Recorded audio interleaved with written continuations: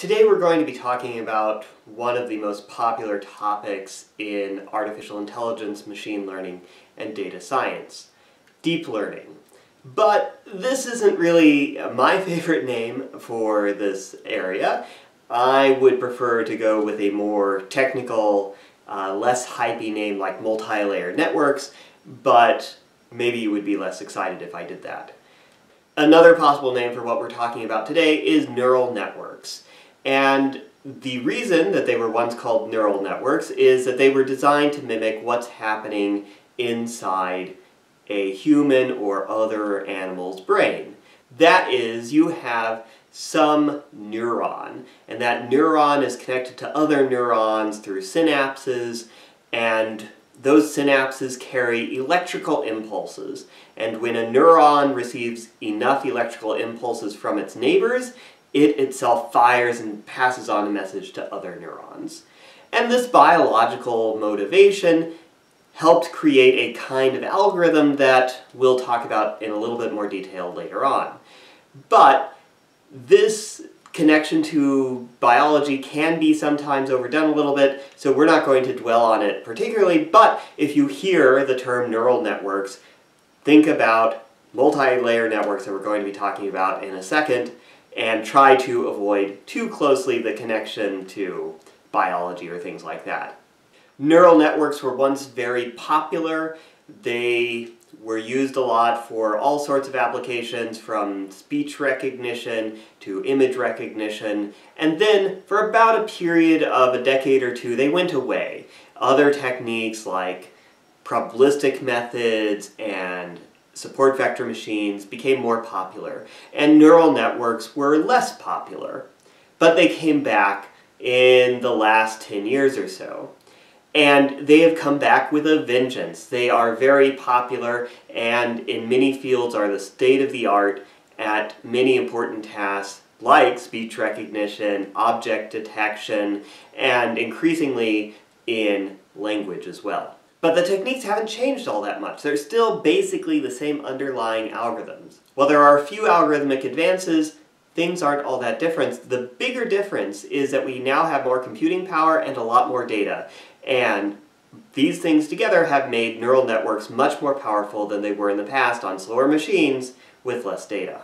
Within industry, these algorithms have gained a lot of prominence, and companies have been spending a lot of money to hire top talent that knows this field very well, and in some cases, like Geoff Hinton, created the field. This is true of the tech giants in both America and in China, and just about any company is now investing in these kinds of approaches because it's seen as an arms race. If you don't have someone in your company who knows this sort of thing, you will be left behind. And companies are forming research labs that focus on these sorts of methods.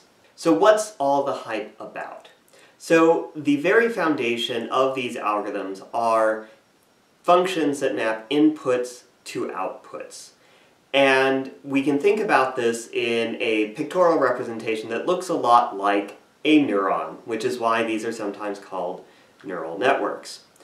You can view a neuron as taking inputs from a vector. That vector gets multiplied by a set of coefficients that define the function.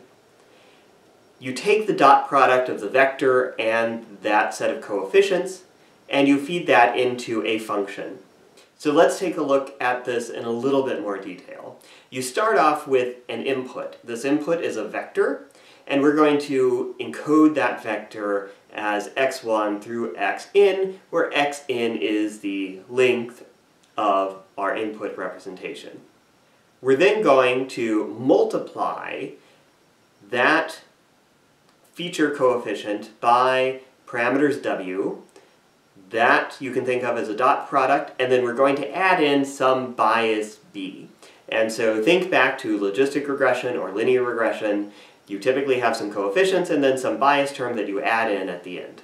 This bias term encodes whether a function is more likely to activate if the bias is large or less likely to activate if the bias is low. Uh, you can think about this as something akin to a prior. How much evidence from your input vector x do you need to overcome your a priori predisposition towards one answer or another? So this feature vector multiplied by a weight vector, add in the bias, then gets fed into some function. And so what does this function look like? We'll typically use some nonlinear function that has an S shape. So we can start off with, say, a sigmoid function, like with logistic regression. The sigmoid function maps negative infinity to 0, it maps positive infinity to 1, and in between, it maps 0 to 1 half. And so this basically takes really small numbers and maps them to 0, takes really large numbers and maps them to 1.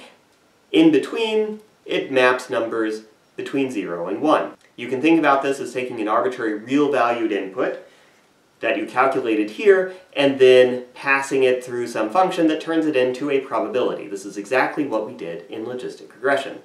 So if this is the sort of thing that we're used to from logistic regression, why are we calling it activation functions instead? The reason that neural networks talk about activation functions is a biological property of neurons.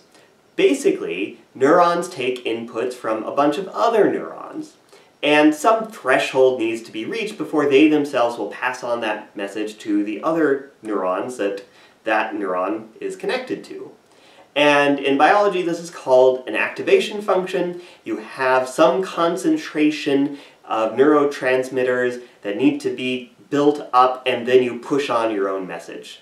And this is basically a non-linear function.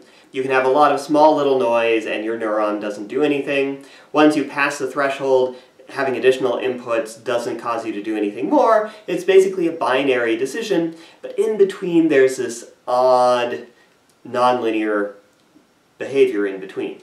But again, this is exactly logistic regression that we've already talked about. So what makes this so special? And why is everybody talking about deep learning today? Remember, for logistic regression, if you want that to work well, you need to do a bunch of feature engineering on your inputs X in order for them to do anything useful. The magic and the promise of deep learning is that you don't have to do that anymore. You can let the algorithm figure out how to represent data in a way that makes sense and creates features or representations of the data that do a better job of whatever problem you want to solve. In a second, we'll talk more about how we can do this through adding additional layers to these multi-layer networks, or neural networks if you want to call them that, and we'll be able to see how new features get created.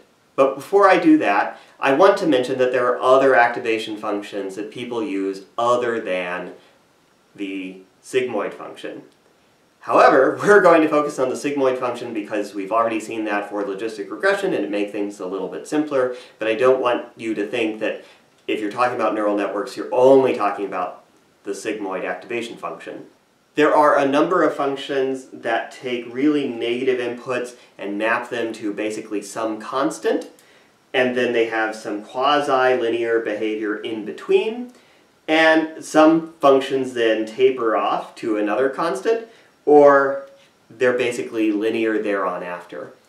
And there are various decisions why you would want to choose some activation functions over others. We'll talk about some of these a little bit, but for the moment I just want you to know that there are other things other than the logistic activation function or the sigmoid activation function.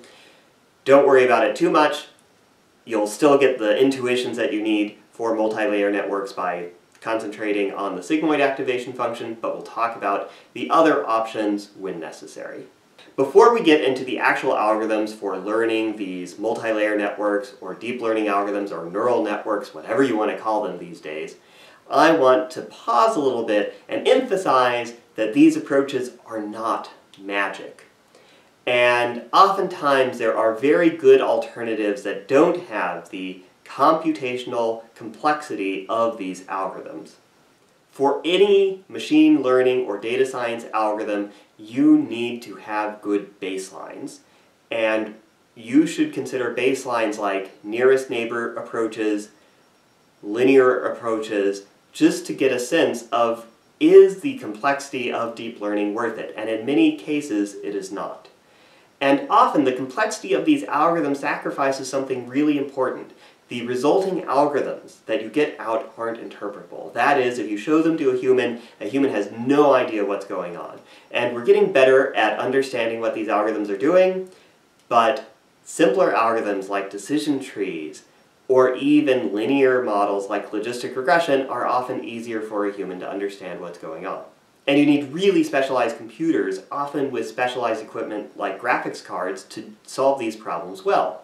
And it's not just one beefy computer that you need. To do the large parameter sweeps that you need to figure out the best possible configuration of optimization parameters and other things like that, you need a whole cluster of really specialized equipment to solve these sorts of problems. And that isn't within the time or monetary budget of a lot of people who need these problems solved.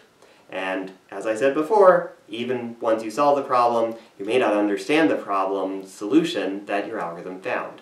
So to be clear, deep learning, multi-layer networks are great. You can do a lot of interesting things with them and you can get really good performance on a lot of tasks that people care about with these approaches.